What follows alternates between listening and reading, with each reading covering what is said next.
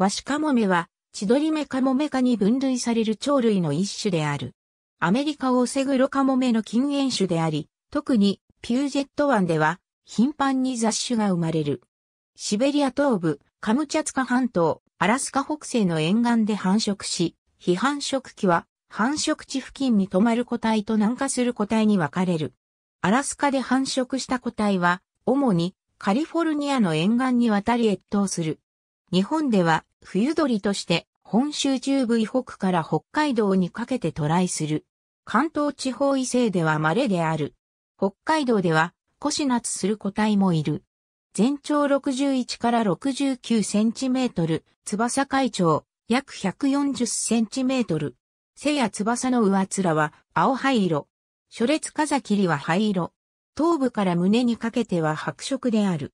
くちばしは黄色で、他のカモメ類と比べると大きく、下くちばしの先端がやや膨らんでおり赤い縁がある。海岸、内湾、港、河口などに生息する。岩礁のある海岸を好む傾向がある。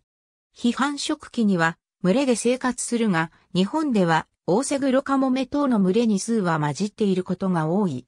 繁殖期にはコロニーを形成する。食性は動物食。主に魚類や動物の死骸などを食べる。鳴き声は、にゃーお、あうう、キーユなど、大瀬黒カモメや白カモメと似ている。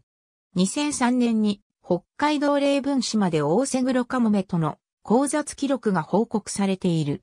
また、2005年から2010年にかけて北海道利尻町で2009年には北海道利尻富士町で繁殖行動が観察されている。